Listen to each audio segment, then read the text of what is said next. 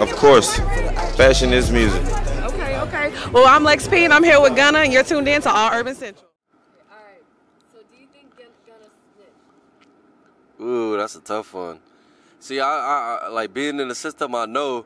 Um, me, that's what I would I would call it. I would call it dry snitching.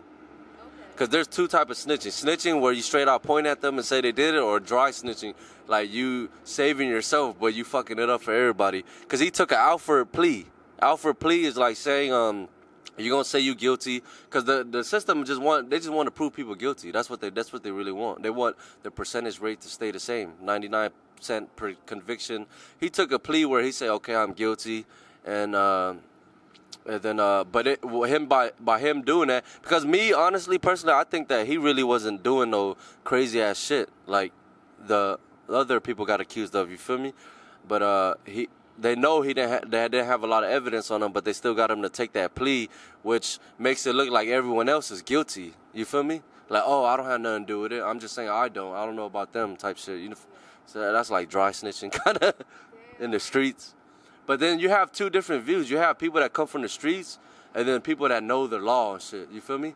And it's, it's al- they're always gonna mix shit up and you know fight over it and shit. Yeah, yeah, yeah.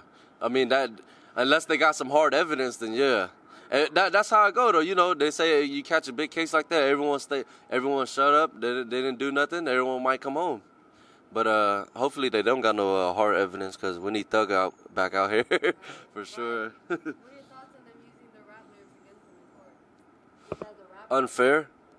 I think it's unfair because I don't know if I read some shit, but in a different state, I don't know about California. I don't know if it was California or somewhere else, but they passed the law where they can't use rap lyrics against you. It's California, right? Man, where was where was that at when Drakeo was locked up? But I feel like it's unfair because you know the amendment is freedom of speech. Like why, why the fuck we can't say what we want to do? is entertainment. When they're making movies, killing people and entertaining people for movies, they're not getting in trouble. You know, that's like it go, that's kind of the same analogy. You feel me? They were gonna ask, uh, would you still listen to Gunna or do a song with him if he snitched? Um, if he snitched, no, I can't.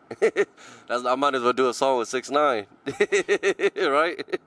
But uh, nah, I rather me. Um, I stand on morals and principles, and I don't give a fuck how much clout he got. You feel me? Like I'd just rather not do it, just cause that's just I wouldn't feel right inside.